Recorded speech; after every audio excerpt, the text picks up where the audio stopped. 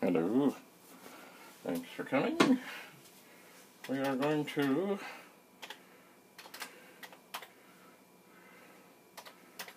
oops do one thing. We're going to poke 53280, 0. That should change the border color to black. And then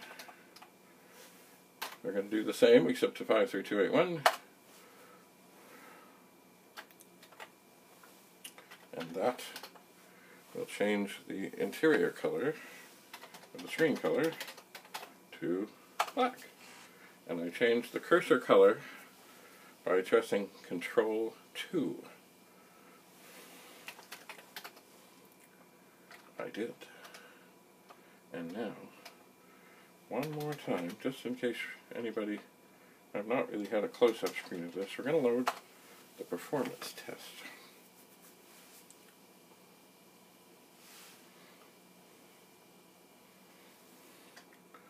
Now, one must be careful. I can, if you run it, when you have a good disc in there, it will ruin it. So we're going to run.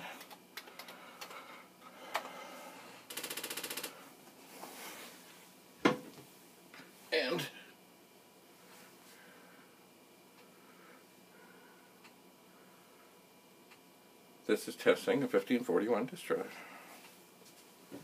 It is.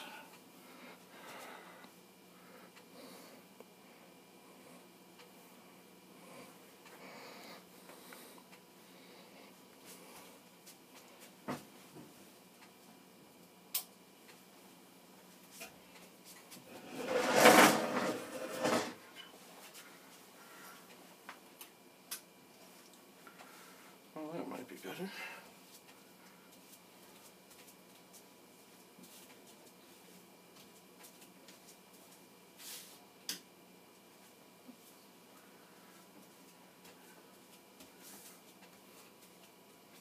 All right. Oh, let's see what's going on here.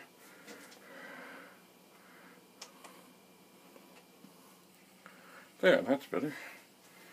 So now I'm completely in the dark.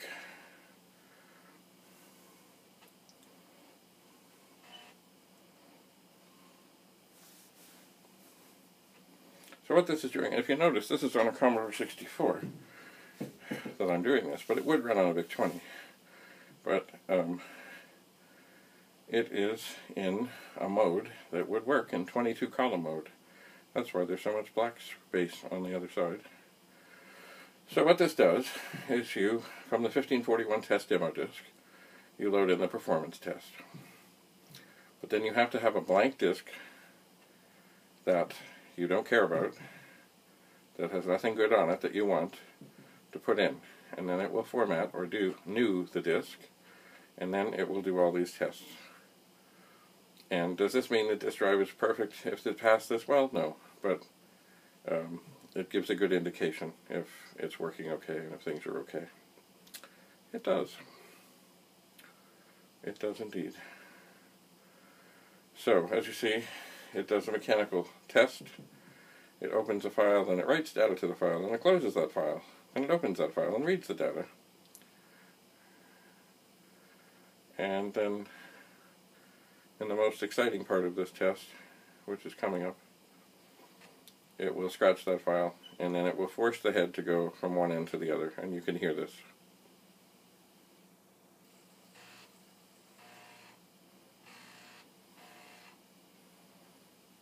And it has passed the performance test. How magical is that? So if you do have a 1541 that you're not sure of, if you do run it through this test, which is on the 1541 test demo disk, it'll give you an idea if it's working okay. And generally speaking, if it does pass this, there's a really good chance. It doesn't mean that the head might not be a little bit out of alignment, or the head might not need a little cleaning, or the drive might go a little wonky once it heats up. You just never know, you know. Um, anyway, it gives a good a good indication. So it's a good thing to always keep a disc handy that you know if it has anything on it, it's uh, from previous tests and other things that you've done, or a blank disk, and, and preferably, of course, it's a disk that is actually working, because if the disk drive tries to go and format a disk that will not format, then it may appear that the disk drive is not working, when in fact you have a bad disk. So this program, um, the 1541 test demo disk came with every disk drive from Commodore. It had other programs on it. It did. Now, pardon me while I'm in the dark.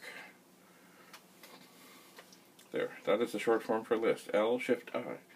And I'm just going to let this scroll by. This program is in BASIC, so if you feel like it, and you want to learn about things, you can go in and read the program and see what it seems to be. Well, if you're not sure what it's doing, come look at it, take things apart. That was the cool thing about the old days, is, you know, people would write things, and we would all learn together. We would. It's funny, even there I see it saying go sub, but I don't see any line numbers. So I'm not sure how that works, but maybe there's maybe I, I, I would have to look into that. Go sub means go to a subroutine. And generally, subroutines are in particular places where you would say like go sub 2000, 3000. Maybe it maybe it goes just to the next one. I don't know. That is a fine question. See, this is a subroutine this thing reading data. Um, and I know it's a subroutine because at the end of it, it says return, as in go back to where you came from or wherever you were sent. Hmm, interesting. Very interesting. It's funny, even if you've been around things for a long time, there's always something to learn. So, once again, this, if you were testing a disk drive and you had a 1541 to check. Take your 1541 test demo disk, or if you don't have one, I'm sure there's a way either to order a disk um, online, or if you have one of the SD card readers to download it. But then if you had the SD card reader, you know, do you need a 1541? I don't know. But anyway, when you run it, remember, ins insert scratch disk in drive. Scratch disk means a good disk that is blank or will soon be blank because it will be. And then press return. It's funny though, this disk drive seems to be working fine, but I still don't like the headbang. I just don't like it.